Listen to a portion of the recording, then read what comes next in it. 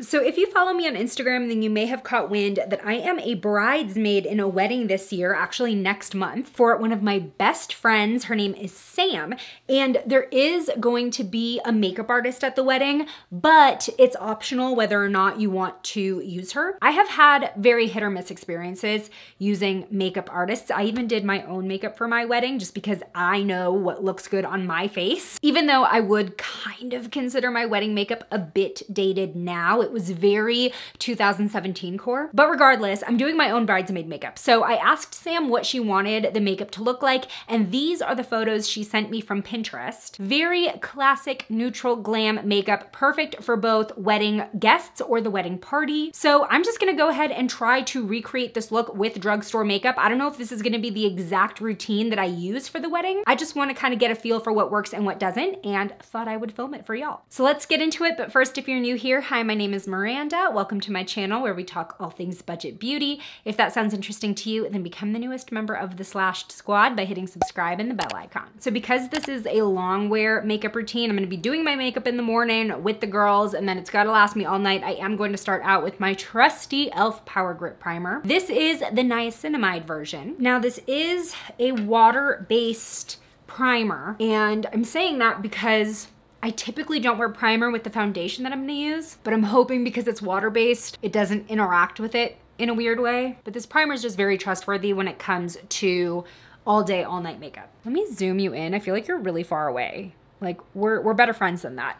Before I go into foundation though, I am going to spot conceal some of these dark and red spots using the ColourPop Pretty Fresh Concealer. This is a trick that I learned from Michaela on TikTok. It's called the sticky method of concealing and basically you use a sticky primer, then you go in with concealer and then your foundation and you're just supposed to end up with a lot better coverage. Just dotting over some of these deeper spots that I know will probably show through a layer of foundation. And I'm just gonna pat them down a bit, like right over the spot. I'm not necessarily blending them, I'm just patting them so that they're a bit flatter. It's not just like a pile of concealer. All right, it's been a few minutes and the concealer has dried down quite a bit. You can kind of see the border of where I applied it. I'm gonna use the Maybelline Superstay Skin Tint. I've been using this pretty exclusively since the video that I made testing it, dripping in sweat. It just looks so beautiful and it really lasts all day, even if you are sweating. As I am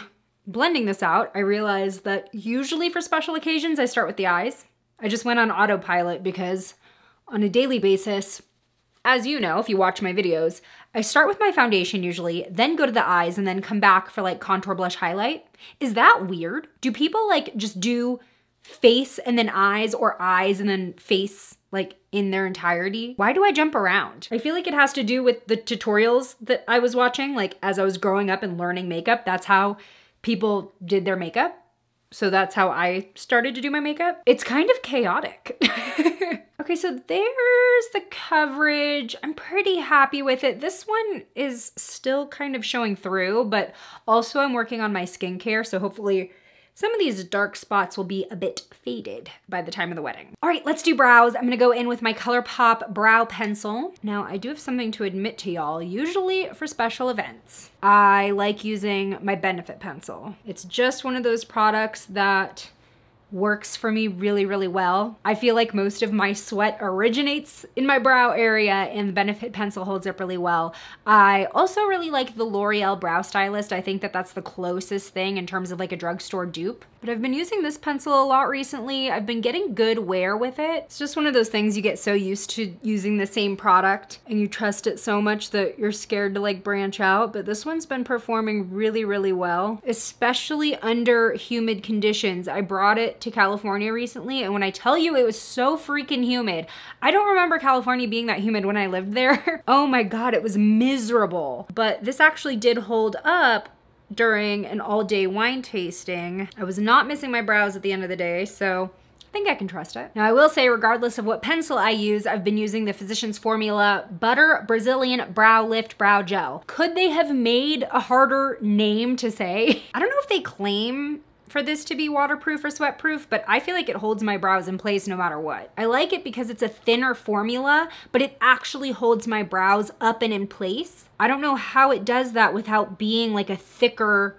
brow gel, but you don't end up with like that goopiness or the white cast that a lot of other really strong hold brow gels give you. All right, going in with my Milani eyeshadow primer. I feel like every time I talk about this primer, it gets so much hate, but it's still an old faithful of mine. So I was going back and forth on what eyeshadow to use for this look, and I landed on the ColourPop Smoke and Roses palette. There might be a better ColourPop palette for this in terms of a neutral, color story, but I feel like this has enough for me to work with, especially in like this range and over here. I'm probably not gonna be using the pinks, but this is the palette I had open. I feel like it's definitely usable to get this look. So the first thing I'm gonna do is dip into Attraction, which is this matte bone color, putting that all over the lid. And what this does is not only does it help set the primer a little bit for oilier lids, but it's also going to make all of the shades we put on top of it and layer blend a little easier. I feel like we've lost the art of the base shade. Okay, I think next I'm gonna go into Kickstart. It is a slightly mauvey brown and that'll be my transition shade in and above my crease. Funny story, Sam actually asked me if I could do her makeup for the wedding, and I said, absolutely effing not. I never claim to be a makeup artist. I know what looks good on me, and I'm used to doing makeup on myself. Doing makeup on someone else is a whole different beast. I did make an exception one time with a friend and I did her wedding makeup. However, it was a very, very conservative wedding and she didn't really wear makeup a lot to begin with. So the look that she wanted was extremely subtle. Okay, I'm gonna go into Spun Around, which is this rich chocolatey brown right here. So yeah, I really didn't do a lot with her. I added some very, very subtle shading on the eyes. I did do a like kitten winged liner, which was the hardest thing to do on somebody else. I remember at one point her dad came in and was like, oh, Miranda, how are you? I haven't seen you in forever because we went to high school together. And I was trying to be polite and like keep up small talk. And she looked at her dad and she's like, dad, she's doing winged liner. You need to stop talking. but it did come out really well. I, I was also able to practice on her like six times before the wedding. That was my that was my rule. I was like if you are wanting me to do your makeup for your wedding, we're going to practice every single weekend until your wedding. But uh yeah, this time around with Sam, I was like no because I wouldn't be able to practice on her considering we live in separate states. And I really just didn't want to put that pressure on myself. I do think my look is coming out a little bit more pink toned than the photo. So jury's out on whether I will stick with this eyeshadow palette. Yet in the pan, it didn't look as rosy. Against my skin tone, they're definitely translating rosy. I think I'm gonna go with Love Hurts, and I'm hoping that's not too white. Oh no, that is perfect. Just blend in those edges together with whatever's left on my blending brush from earlier. Love hurts. Sometimes it's a good hurt. That's a song that exists, right? Okay, I don't think we are that bad or that far off. So I'm gonna go into One Love, and that will be the inner corner highlight. And I'm just gonna put that slightly, slightly under my brow bone. Does anyone else feel like their eyes aren't the right shape for certain like makeup techniques? Because I always feel like my inner corners, I don't know, they're like so, they're not close together, but because I have this creasing under my eye, I feel like a lot of inner corner stuff just doesn't end up looking right. And maybe I'm noticing it more as I age because my eye shape is definitely changing a little bit.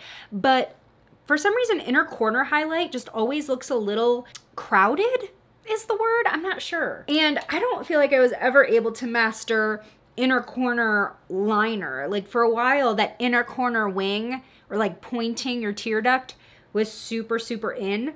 And I just could never get it to work on me. So I don't know. I think that looks fine though. Okay, as far as the liner goes, I don't think I wanna do like a really sharp wing, but I do wanna do sort of like a soft smoky wing. I'm gonna start by using the Essence Stay and Play Gel Liner. First, I'm gonna tight line with it. Then I'm gonna go ahead and do a thin line on the upper waterline but toward the outer corner. Push it up just a tad into like the start of a wing. And then with my Sigma E06 brush, I'm gonna start blending and kind of winging it out just a little bit. This is my absolute favorite brush from Sigma because I've just never been able to find one similar to it that works as well at this size because it blends eyeliner really well without spreading it around. Look how small that is. Okay, so I've just done a little bit of a baby smoky wing. Now I'm gonna go into Whisper, which is actually kind of a gray. I'm gonna go over the liner and then blend that upward a little bit to smoke it out as well. And the reason I layer the two is because it just helps it last a bit longer. It's, there's something for the shadow to stick to as that base. Yeah, that looks so good. I just kind of want to smoke the top out just a bit more. Yeah, I like how that looks. Yay! How are you feeling about it so far? I'm not, I don't know. I'm on the fence. Let's add lashes because sometimes, sometimes I can be totally on the fence about a look and then I add lashes and I'm like, oh, it came together. So before I go in with false lashes, I'm going to apply the e.l.f. Lash and Roll Mascara, another product that has become a go-to of mine because of how clean it looks. Zero clumps, lots of separation.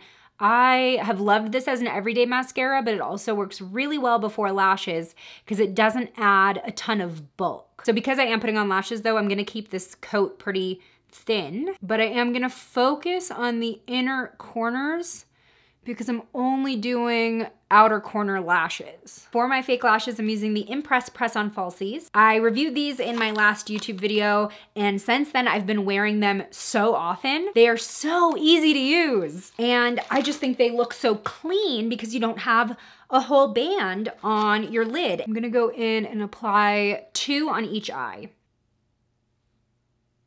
So easy. That's one. I just love not needing to mess with glue and they actually last. I mean, if you didn't watch that video, I would highly suggest it, but I slept in them and they were still totally secure. I recommended these to a friend who has monolids and she wore them to a wedding and was so impressed. She said they lasted all night. She sent me photos. They still looked great after the wedding. So if they're wedding approved by my friend who like never wears fake lashes, she's not a big makeup girl anyway, then I definitely trust them. I feel like we're more on point with the lashes. The magic of lashes, y'all. I am gonna take a photo and send it to Sam to see if it's too rosy because if everybody else is just gonna be using like brown neutrals and I'm sitting out here with like rosy neutrals, I think it's gonna stand out just a bit. Is this too pink for wedding? And we will see what she says. But in the meantime, let's move on to the face. So for my contour, I'm gonna be using the Revolution Ultra Cream Bronzer. I have the shade Medium, which is actually pretty dark. And what I do with this, I'm gonna dot this on, and then just using my sponge that I applied my foundation, blend, blend, blend. Now this contour does dry down pretty quickly, so that's why I work one section at a time instead of like adding all my dots and then blending everything out. Uh, if I were to do that, I would have dots on my face at the end. Beautiful. Like, hello? I love this contour. I am gonna go ahead and contour my nose just at like the widest spot right here, just at the deviation. For my blush, I'm using the ColourPop blush sticks in the shade. Why is there no label?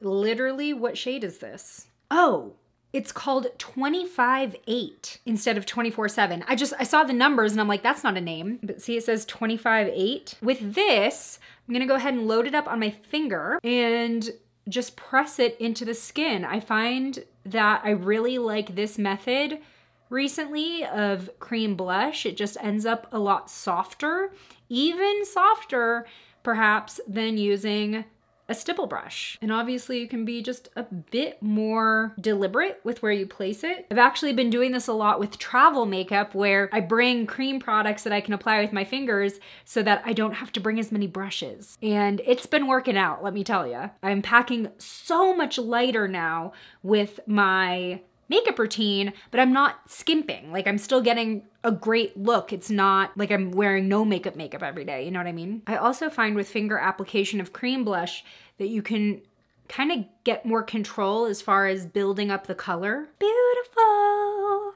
And I'm gonna use the same technique with the ColourPop Lite Stix in Glazey. This has definitely been my go-to cream highlight recently. It is just the perfect, like champagne gold. And again, I'm just gonna pat that in. I'm really trying to focus this right here toward the front of my cheekbone. I don't want it to be like a stripe. I want it to kind of fade out as it gets more toward my temple. And then I am gonna dot a little bit above the brow. Get some on my nose. Cupid's bow. Yeah, those ColourPop sticks, whether it's the bronzer stick, the blush stick, the highlight stick, I have really been digging them. All right, there's only one last step and that is lips. Now this is always kind of a tricky situation when it comes to wedding makeup or long wear makeup. You want something that is flattering, but something that's also going to last you a long time. You don't have to babysit it. You don't have to worry about it smudging. So for all of those reasons, I'm going to be using the Maybelline Superstay Vinyl Ink Liquid Lip Color. This is in the shade Punchy. Now this, you gotta shake to activate because once you put put it on. It is budge proof, but you get this sort of like